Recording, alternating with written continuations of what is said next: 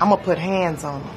I'm talking hot grits, extension cords, Timberland boots. I'm gonna fuck up that bitch's Instagram account. I'm gonna put two Q-tips in his pee-pee hole, and I'm gonna walk him around. I'm just wipe, I'm just swiping that thing, and I'm gonna yank him out.